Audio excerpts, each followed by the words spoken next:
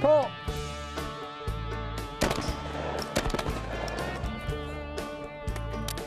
We're already Whose off. turn?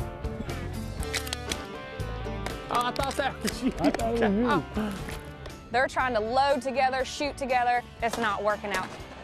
I was looking over at Kyle after I had shot, and he was reloading. And uh, when all the dust settled, I think we hit 10 targets total. Dang it, Kyle! As We 10. We enjoyed it. Good, good game. Good game. We appreciate y'all coming out and uh, All in good fun. good shooting.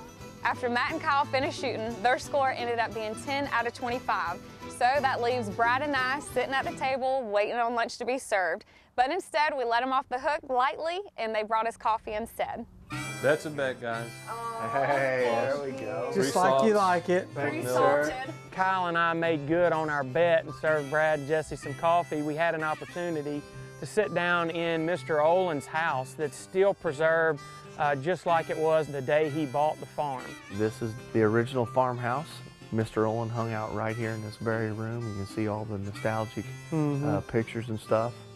When we get into the house, it's very noticeable to Matt and I just how much of a passion that Mr. Olin had for the outdoors. One of his most prized possessions was probably the painting above the fireplace of his dog, King Buck, who was actually the only animal to appear on a federal duck stamp other than a waterfowl.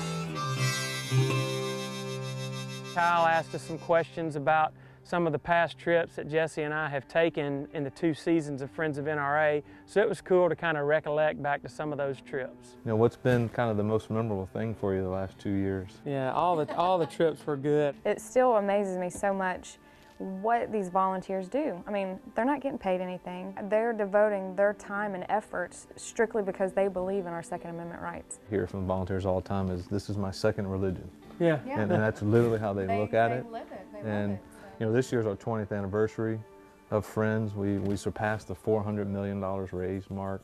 Wow. Uh, so it's just you know, it's amazing. I've been here 17 years, seeing where we were and where we are now, and and it's just amazing what we've been able to do every day in, in thousands of communities across the country, making a difference. And that's really what it's all about for all of our staff, all of our field staff and volunteers. Is we always look back on when we look at this. It's not really how much money we raise, but are we making a difference? You know, and Brad's kind of a twofold guy here because he's a volunteer on a committee, but he also uh, is, is a proud employee of one of our, our biggest sponsors here now too. And, and we're very happy to have Winchester on board. It's just great to see you go out there, grassroots organization, raising money, putting it right back into the community. Uh, and I just couldn't be prouder either personally or, you know, as a, as a Winchester guy. We're really glad to partner with the NRA and now the Friends of the NRA. You know, we really appreciate the, the sponsorship and the support from Winchester. Lunch was over. Now it was time to head out and do some bird hunting. Right away, we get out into the field and we meet up with Roger and Dean. Dean's going to be our guide and dog handler for the day. I'd like to introduce you to Jesse. I'm Jesse. This is Matt. Matt, how you doing? This is Kyle with the NRA. Dean gets one of the labs out and we start hunting. There's nothing like watching a good dog work. We hadn't been out there but a few minutes and it didn't take very long for the dog to flush the first pheasant.